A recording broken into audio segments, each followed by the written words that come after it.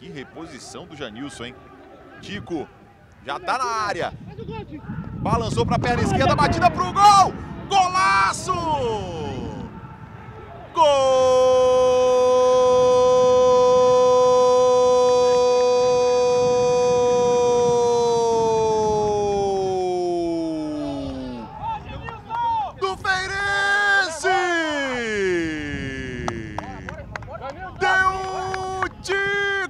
Camisa 10!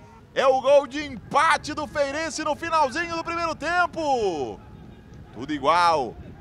Um pro Feirense, um pro SSA.